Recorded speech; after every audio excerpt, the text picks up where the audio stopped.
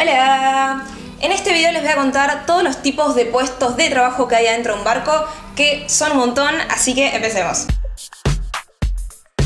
Bueno, como verán, tengo acá mi machete, tengo todo anotado para no olvidarme ninguno porque son un montón. Para explicarles primero les digo que hay dos tipos de trabajo. Por un lado están los que son para el funcionamiento del barco, para que ande, para que todo funcione bien adentro.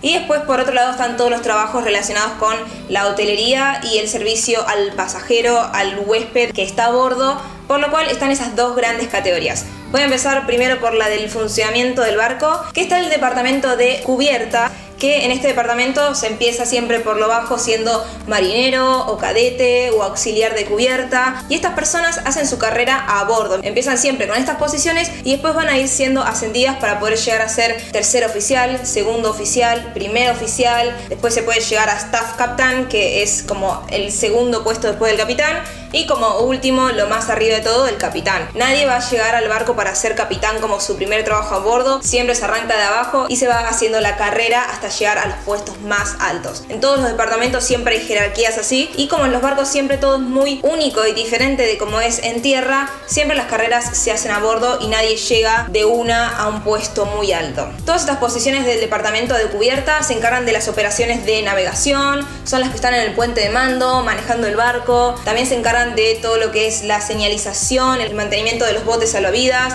de los extintores, todas esas cosas que es importante que estén en estado, se supervisan, se controlan y se mantienen desde este departamento que es este equipo de personas que trabajan ahí. También están los oficiales de seguridad, que es todo un equipo de personas que trabajan para vigilar, controlar, asegurarse que todo esté en orden, que no hayan incidentes, tienen un montón de protocolos para cualquier tipo de emergencia y también se encargan de lo que es el embarque y desembarque, así como en el aeropuerto cuando uno tiene que pasar por el área de seguridad y escanear todas sus cosas, en el barco pasa exactamente lo mismo y es por eso que tenemos este equipo de personas que empiezan siendo eh, guardias, oficiales de seguridad y después pueden pasar a ser supervisor o jefe de seguridad. Otra posición que también está es oficial de radiocomunicación, que son las personas que se ocupan de todo lo que son las comunicaciones dentro del barco y también la comunicación del barco a tierra firme, por lo cual es una posición muy importante también. Siguiendo con otro departamento está el departamento de ingeniería que este departamento se encarga de todas las operaciones del mantenimiento de lo que son las maquinarias, los motores, hacer básicamente que arranque el barco y que funcione todo en orden. Ahí está en lo más alto el jefe de ingeniería,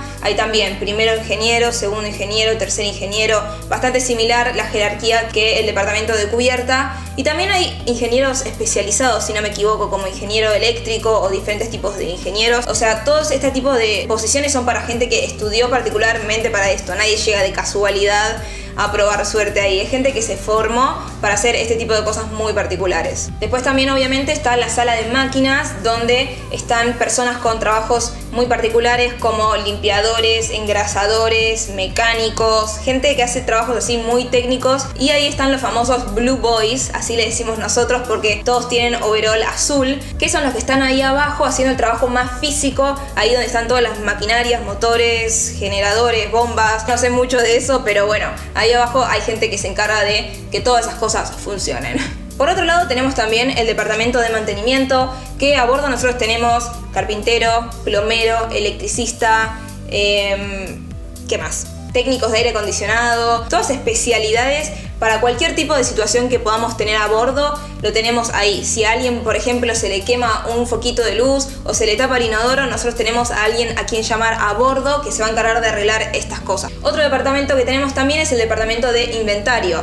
Esto sería todas las provisiones que nosotros tenemos que tener a bordo. Normalmente una vez a la semana es que en puerto nosotros recibimos todo lo que necesitamos tener a bordo, ya sean desde cosas como papel higiénico, bolsas, papel, no sé, artículos de limpieza, todo lo que podamos necesitar, nosotros lo cargamos a bordo, al igual que toda la comida, todas las bebidas, todas las provisiones. Tenemos un departamento de personas que se encargan de esto, de la carga de las provisiones, de administrarla, de cuidar, conservar y todo eso. Bueno, y ahora más lo interesante que son los trabajos de hotelería, que sería primero empezando por guest services, que eso sería como la recepción Es igual que en un hotel, ahí mismo es un escritorio donde tenemos empleados que se encargan de hacer el check-in con los pasajeros, de asistirlos en cualquier tipo de situación que necesiten, reciben las quejas ahí. Es un trabajo que es muy importante tener idiomas y tener paciencia para lidiar con los pasajeros y cualquier situación que puedan llegar a tener. Después hay otro tipo de posiciones de trabajo dentro de este mismo departamento que uno aplica una vez que ya está adentro, que son más que nada cargos administrativos o de supervisación, subiendo la jerarquía dentro de lo que es guest services. Otra de las posiciones también en hotelería es concierge o loyalty ambassador o también hay asistentes de las personas que están en suites. Por ejemplo, una familia reserva la suite más grande del barco. Tienen un tripulante que va a estar ahí todo el tiempo para asistirlos y hacerle la agenda y organizarle las actividades y todo. Hay muchos puestos así muy particulares de atención cercana y especializada para los pasajeros. Por otro lado también tenemos el área de finanzas, del área contable, ya que como yo les conté en el video de lo que es gratis y no para los tripulantes, nosotros en el barco no usamos efectivo, tenemos todo en nuestras tarjetas. Nosotros le damos efectivo al barco y ellos no ponen esa plata en nuestra cuenta, entonces no manejamos el dinero. El dinero lo maneja el que es como el contador del barco, donde tiene toda la plata y lleva todas las cuentas, el balance de que todo esté bien y en orden. Pasando a otro departamento, está el departamento de recursos humanos, que este es el que se encarga de la administración de los tripulantes exclusivamente. Se encargan del embarque, de todo el proceso, también de asignar las cabinas. Ahí si uno quiere cambiar de cabina o pedir algo especial, puede ir a recursos humanos. Igual que en cualquier empresa lo tenemos a bordo y tenemos tripulantes que se encargan de estas tareas ahí mismo, así como también de hacernos las actividades, las fiestas y a veces excursiones para los tripulantes. Todo eso se organiza desde recursos humanos y tenemos posiciones particulares para cada tipo de actividad dentro de lo que es este área. Siguiente departamento de trabajo es el departamento de housekeeping que son los que se encargan de toda la limpieza a bordo, no de las cabinas de los tripulantes lamentablemente, pero se encargan de limpiar las cabinas de los pasajeros o también hay posiciones que se encargan de limpiar las áreas comunes, también se encargan de organizar las valijas de los pasajeros, ya que ellos no suben con todas las valijas, ellos las dejan afuera del barco y el barco las carga a todas juntas y después los de housekeeping se encargan de llevar cada valija a la habitación. Y también dentro de este departamento está lo que es la lavandería, ya que todos los días hay montonazo de sábanas para limpiar.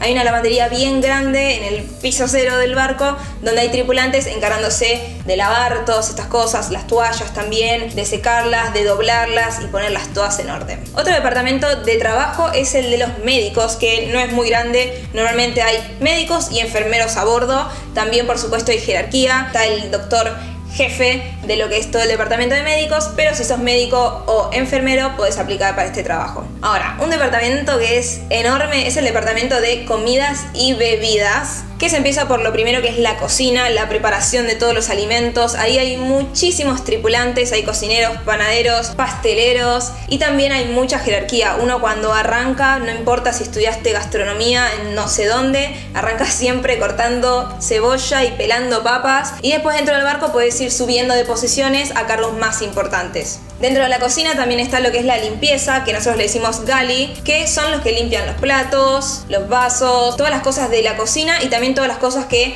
se ensucian cuando las personas comen, obviamente, entonces hay personas designadas para este trabajo. Después si hablamos de los restaurantes, también hay infinidad de puestos, uno se imagina, claro, meseros, pero meseros son los que van con bandejas con 20.000 platos, nadie arranca a trabajar en barcos para hacer eso, está por debajo del asistente de mesero. Y después hay también posiciones más simples como room service, servicio a la habitación que es solo una persona que tiene que ir con el carrito para llevar los pedidos y no es nada tan complejo. Al igual que quizás te toca en el tenedor libre, llenando los aleros y limpiando las mesas. Entonces, dentro del restaurante también hay mucha jerarquía para los puestos, ya sea dentro de lo que es servir a los pasajeros, como también dentro de lo que es la administración de la gestión y todo lo que es directivos, por lo cual dentro del restaurante hay muchas posiciones, pero se arranca siempre aplicando para mesero o alguna de estas cosas sencillas. Haciendo carrera a bordo, uno puede llegar a terminar siendo encargado de un restaurante, o supervisor de todos los restaurantes o parte de los directivos a cargo de todas las decisiones importantes a bordo. Y después pasando a la parte de bebidas,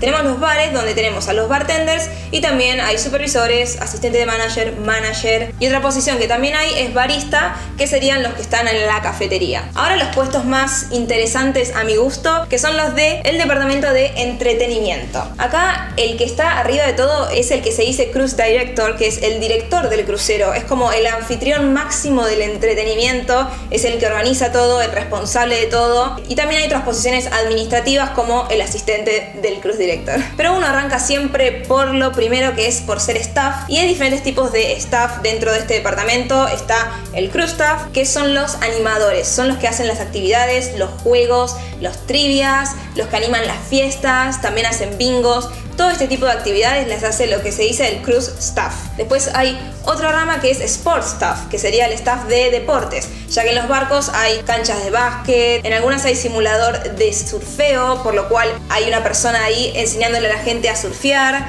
En mi último barco teníamos el iFly, que era un simulador de caída libre se dirá, no sé cómo se, cómo se dice, pero eso también está buenísimo. En algunos barcos grandes tienen tirolesa, lo cual está genial. Entonces los que aplican para ser parte de este staff son los que se encargan de asistir a todo tipo de actividades relacionadas con los deportes. Después otra rama de este departamento es el youth staff, que es básicamente el staff que se encarga de los jóvenes de la juventud, que sería de los niños básicamente. Esto se divide por categorías, hay quienes se encargan de los niños bebés, que son hasta de 3 años por ejemplo, alguien que se encarga de los niños de 3 a 10, después de 10 a 12 y de 12 a 17. No sé bien cómo es la repartición, pero más o menos así. Por categorías a los niños se los cuidan si son muy chiquitos, se los entretiene, se le hace actividades. Entonces uno es parte de estos grupos para hacer actividades y juegos con ellos. Y también parte del entretenimiento son los shows, que ahí tenemos bailarines, cantantes, según también el barco pueden haber acróbatas, patinadores sobre hielo. En los barcos que tienen teatro de agua hay personas que son los saltadores que saltan desde muy alto, están los de nado sincronizado. Hay un montón de variantes de artistas que se contratan para los barcos.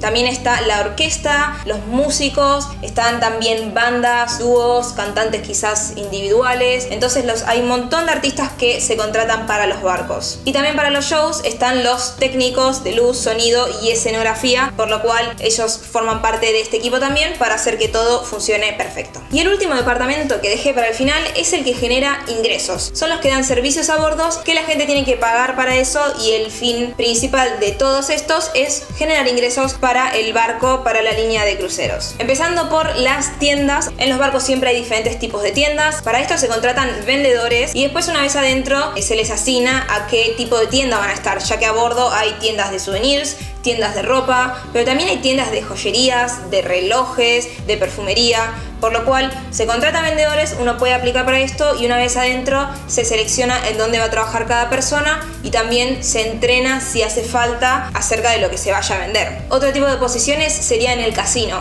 Ahí están los dealers, también tiene que haber cajeros, también anfitrión, que es alguien que está con el micrófono animando la noche. Y por supuesto que también supervisores y posiciones más altas que uno va a ir ascendiendo una vez que está a bordo. Otras posiciones pueden ser, si no, en el spa, que el spa es más que nada como un salón de belleza donde hay peluqueros, gente que hace manicuría, maquillaje, cosmetólogos, también masajistas obviamente. También suele haber un doctor o doctora para hacer ciertos procedimientos como poner botox a las personas o hacen acupuntura. Tienen un montón de tratamientos que hacen ahí, por lo cual hay muchos especialistas trabajando en este área. Y también dentro del spa se incluyen a instructores del gimnasio, ya que eso es como una extensión del spa, siempre están juntos.